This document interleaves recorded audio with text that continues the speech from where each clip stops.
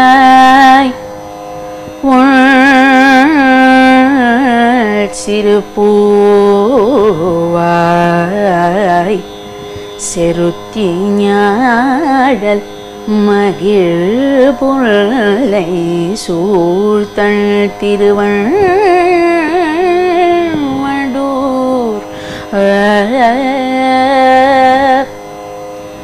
பெருந்தன் தாமரைகள் பெருநீர் முடினால் தடல்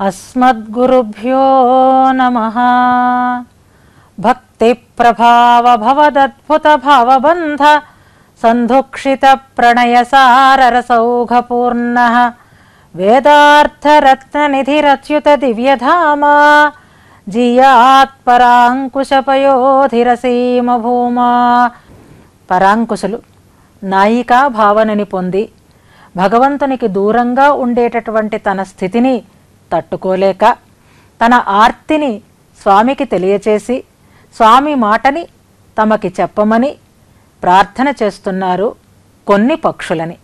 వాటిని స్వామి దగ్గరికి దూతలుగా పంపిస్తున్నారు ఈ దశకంలో అని అనుకుంటూ వస్తున్నాం మనం.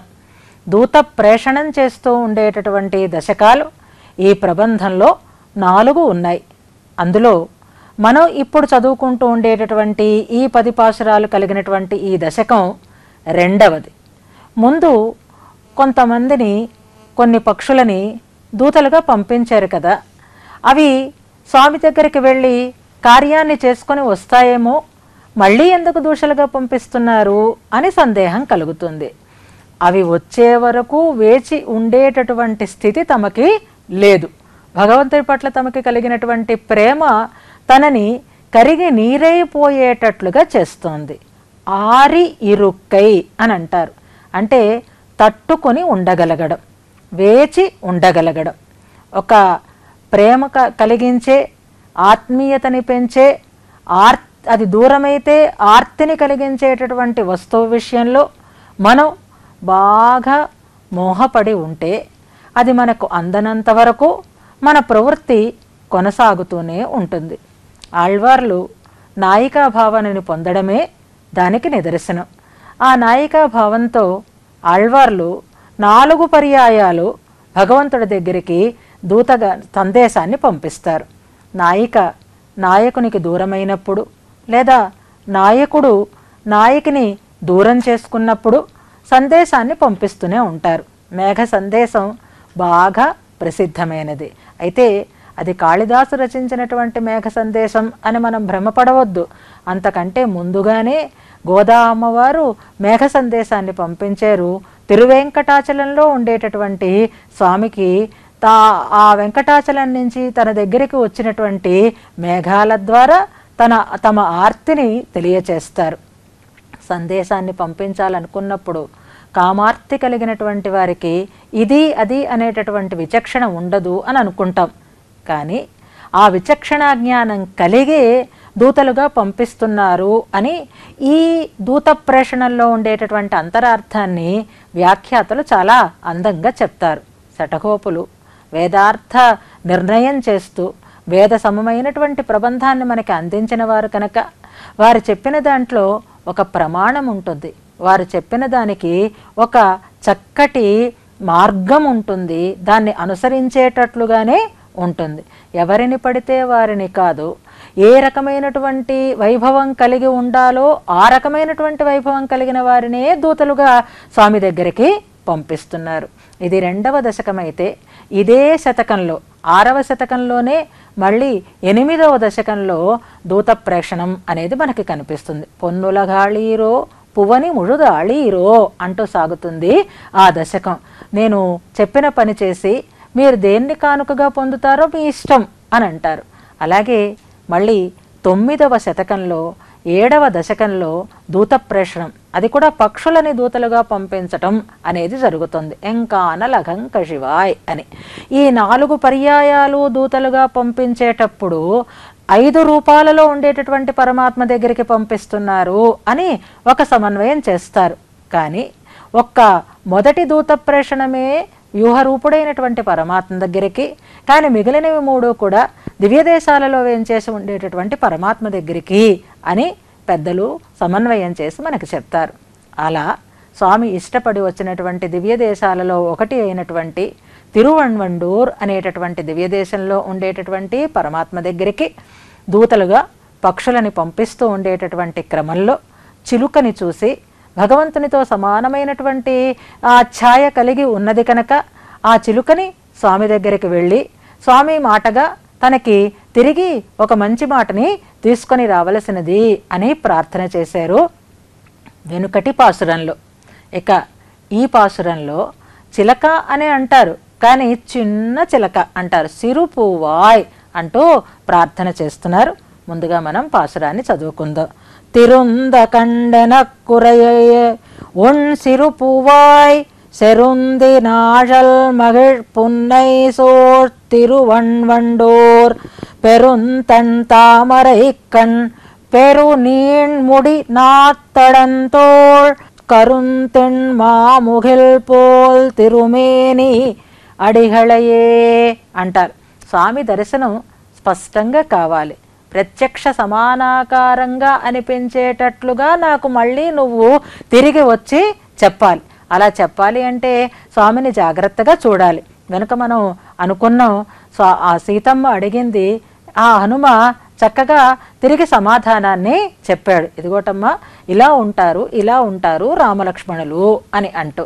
అలా మళ్ళీ చెప్పగలిగేటట్లుగా చూసి రావాలి అని అంటున్నారు ఇందులో.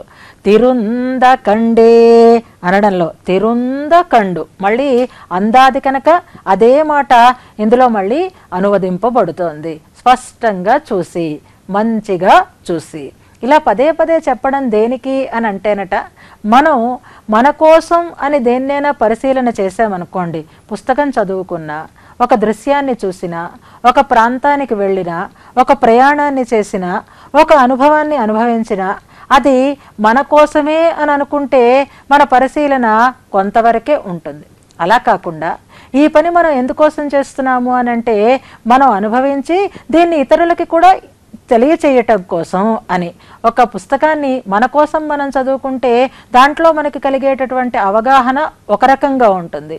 ఇది చదివి మనం మరొకరికి చెప్పాలి అని అనుకున్నప్పుడు మనం దాన్ని పరిశీలన చేసేటటువంటి విధానం మరొక రకంగా ఉంటుంది. ఇప్పుడు మీరు తిరువణ్వండూరు వెళుతున్నారు.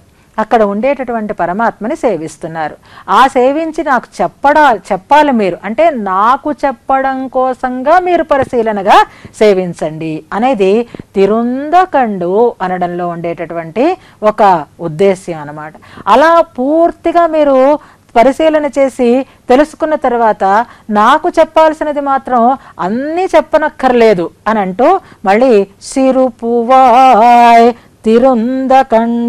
ఎనక్కు ఒన్నో ఉరయా నాకు ఒక మాట చెప్పాలి. ఒన్ సిరుపువాయ్ అందమైనటువంటి ఓ చిన్న చిలక లేత చిలక. అంటే కిళి జాతికి చెందినటువంటి పక్షే.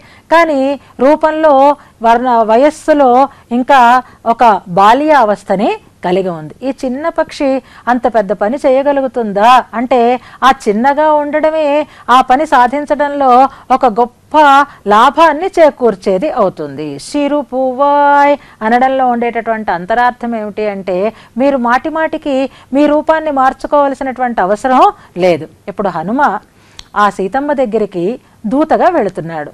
ఆమె లంకానగరంలో ఉందని తెలిసింది. రావణుని చెరలో ఉందని తెలిసింది. ఇప్పుడు లంకా నగరానికి వెళ్ళాలి. వెళ్ళాలంటే నూరు యోజనాల సముద్రాన్ని దాటి వెళ్ళాలి. నూరు యోజనాల సముద్రాన్ని దాటడానికి ఉద్యుక్తుడై ఉండేటటువంటి వాడు బలవంతుడే కావాలి. ఆ బలం కలిగి ఉండడం అనేది దానికి తగినటువంటి ఆకారంలో ప్రతిఫలించాలి. ఇంత పెద్ద సముద్రాన్ని దాటాలి అంటే ఒక పెద్ద రూపంతో దాటాలి. అందుకే హనుమ సముద్రాన్ని దాటేటప్పుడు దశయోజన విస్తీర్ణ త్రింశద్యోజన మాయత అంటూ ఆ హనుమంతుని యొక్క ఆ రూపాన్ని వాల్మీకి వర్ణిస్తారు. అంటే సముద్రం దాటేటప్పుడు ఒక భీకరమైనటువంటి చాలా గొప్పదైనటువంటి పెద్దదైనటువంటి ఒక రూపాన్ని ఆయన సంతరించుకున్నాడు. నిజానికి అలా ఉండలేదు. ఆయన అలాగా పెరిగాడు అన్నమాట. ఛాయే ఇలా ఉంది అంటే ఆయన రూపం ఎలా ఉందో అర్థం చేసుకోవచ్చు. అలా అంత పెద్ద రూపాన్ని ధరించి ఆయన ఆవలి ఒడ్డుకి చేరాడు. చేరిన వాడు ఇప్పుడు ఏం చేయాలి? లంకలో ప్రవేశించాలి. లంకలో ప్రవేశించాలి అంటే ఇంత పెద్ద రూపంతో ప్రవేశించడానికి తగినటువంటి అవకాశం లేదు.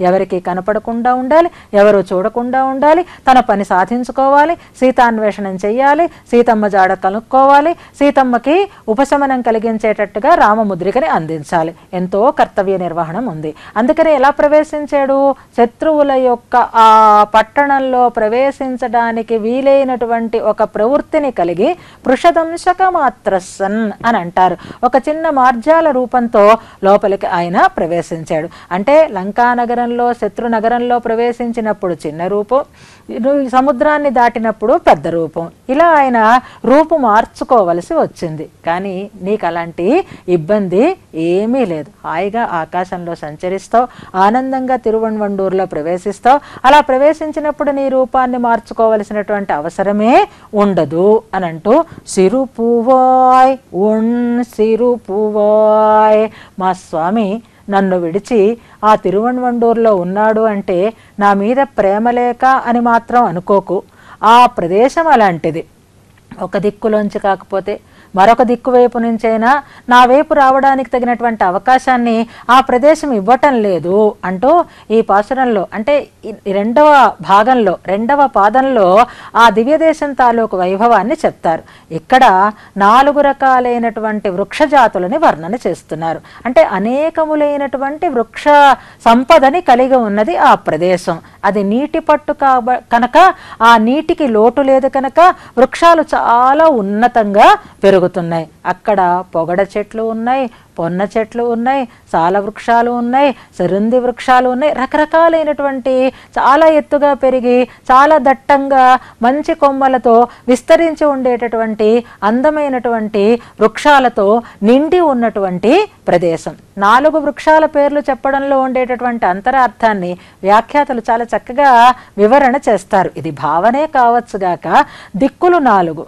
నాలుగు వైపులా ఎటువైపు చూసినా ఆ అందమే అక్కడ నిండి ఉంది. కనుక ఎటు నుంచి కూడా తప్పించుకొని రావడానికి తగినటువంటి అవకాశం లేనటువంటి తిరువణ్వండూర్ అంటున్నారు. సెరుందినాళల్ మగిళ్ పున్నై సూడ్ తిరువణ్వండూర్ అక్కడ ఉండేటటువంటి స్వామి ఎంత సౌందర్య రాశి అని అంటే పెరుంతన్ తామరై కణ్ పెరు నీణ్ముడి నాల్తడంతోళ్ అంటున్నారు.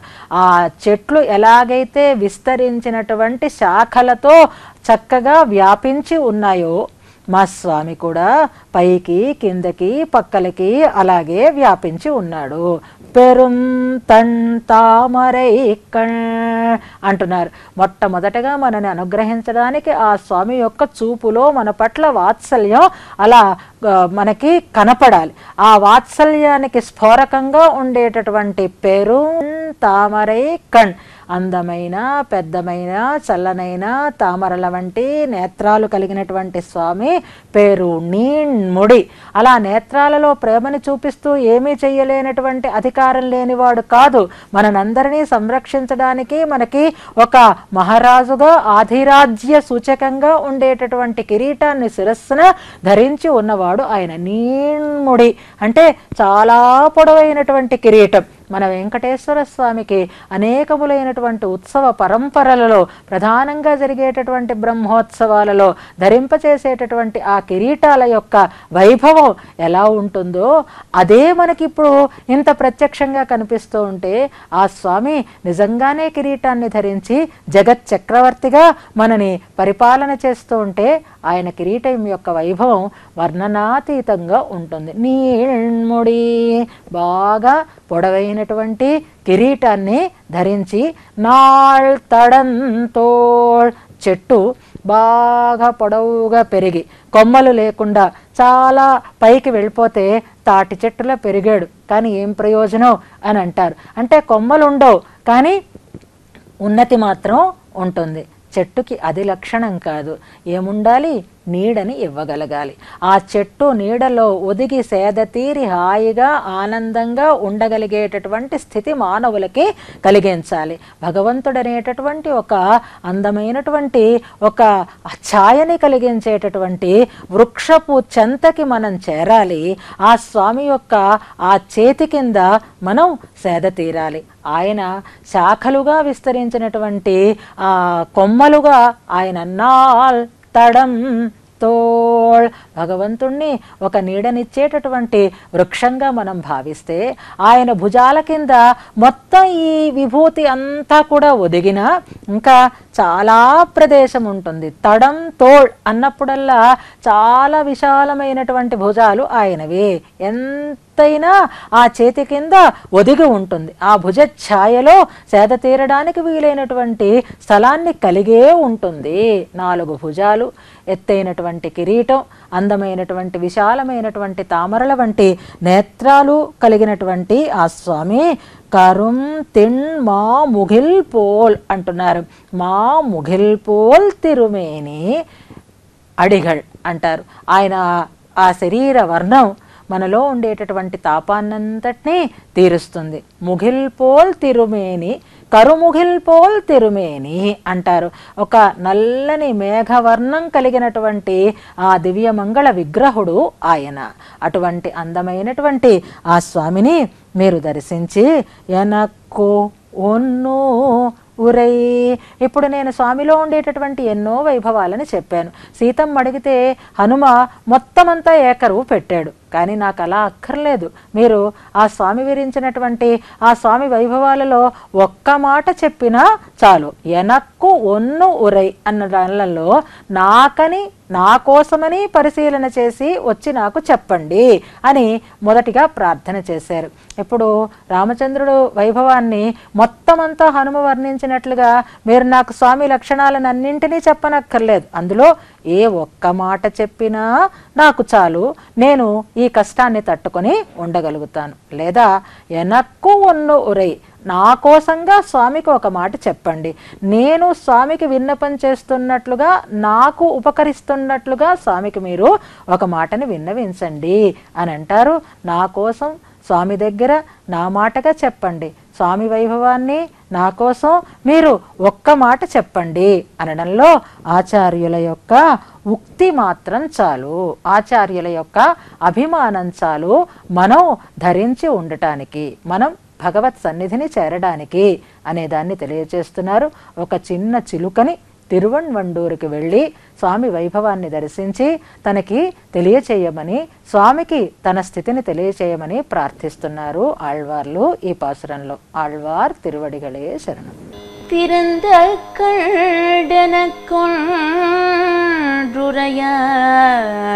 கண்டனக்கொன்றுரையாய் உள்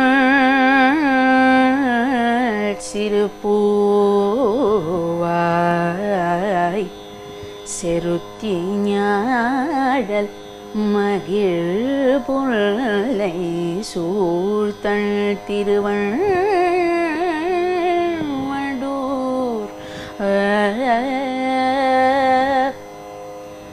பெருந்தன் தாமரைகள் பெருநீர் முடினால் தடத்தோ